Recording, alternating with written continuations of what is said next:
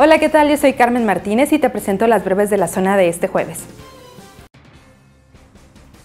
La doctora e investigadora Bárbara Paut indicó que en México la pandemia retrasó los esquemas de vacunación en niños y niñas al grado de que resulta preocupante que esto termine en una epidemia de enfermedades infecciosas en conjunto con la pandemia del COVID-19. La cobertura de vacunación en el país durante el primer semestre de 2020 en los menores de un año fue apenas del 66%, lo que representa una disminución de más del 20% comparado con el mismo periodo del 2019 es decir, que 4 de cada 10 niños menores de un año tienen el esquema de vacunación incompleto.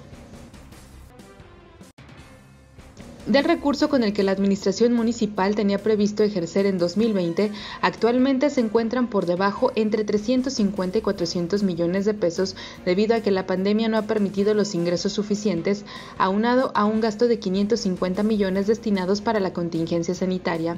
Lo anterior fue detallado esta mañana por el tesorero municipal de León, Enrique Sosa Campos, quien advirtió que el foco amarillo vendría para el ejercicio fiscal 2021.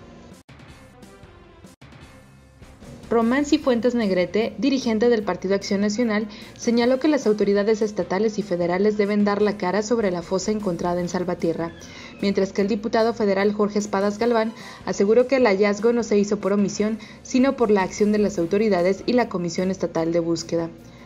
Ayer por la tarde en el municipio de Salvatierra fue encontrada una fosa con 59 cadáveres, según lo informó la Comisionada Nacional de Búsqueda, Carla Quintanilla.